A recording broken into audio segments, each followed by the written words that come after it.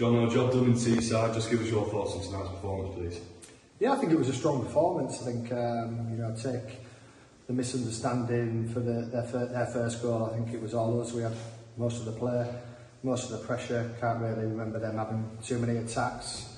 Um, it was good to get some minutes into some of the boys, obviously, um, which was a real positive of the night. And um, overall, first half and second half, it was mostly all us really, and um, we had some chances where we've got into the final third and our final pass or final cross let us, or final touch let us down a little bit, but um, we were definitely the better team and we definitely deserved to win in the end. You know, we got a goal back second half with uh, Greeny's glancing header, which I think came off somebody who went in, in the near post, but in terms of overall chances and overall play, we had the most of it. And um, like I said, we kept on going, got the goal back.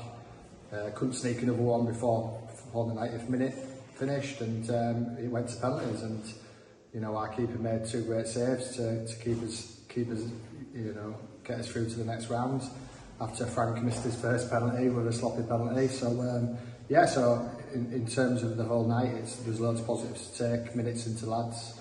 Um, you know, we didn't lose the game, we drew the game, and then we, we, we slotted some penalties away, and Akim made two great saves in, in the penalty shootout. So uh, overall, really pleasing.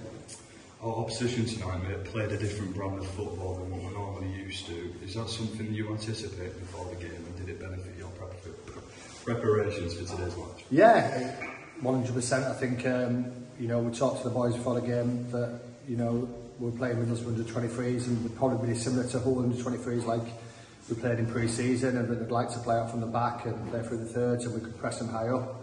I think we did that really well and we caught them off guard, nicked the ball a few times and like I said, got into some good areas in the final third without probably creating too many chances. You know, like I said to you earlier, probably the final pass or final touch or final through ball just wasn't good enough. But, um, you know, in, in overall terms of, of our pressing, it was very good and we caught them off guard a, a few times. But Middlesbrough, fair play to them, they carried on doing it. Uh, that's what they're taught in the academies, you know, to play off from the back and play through the thirds. Um, but we probably just had a little bit too much more physicality, physicality than them. And they're probably that sure throughout the game, especially as the game wore on. Um, and um, yeah, really pleased, really pleased that we're through to the next round. I'm sure the chairman's happy and Fred, so uh, yeah, good.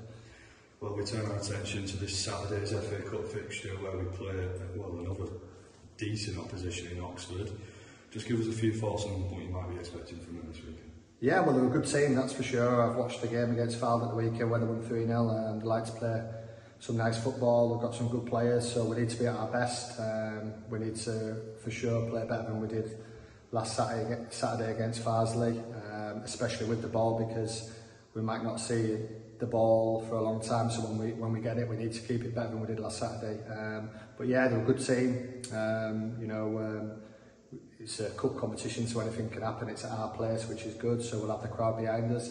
But we said to the players tonight before the games, listen, you have to perform tonight because after last Saturday's game, there's um, there's probably quite a few shirts up for grabs. So um, really pleased with a lot of people's performances tonight. It's always difficult when you play in a in a pitch where there's no like massive, massive atmosphere. So I thought the boys got themselves going really well.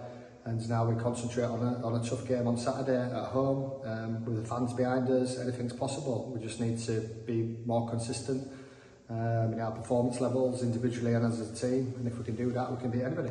Thank you, John.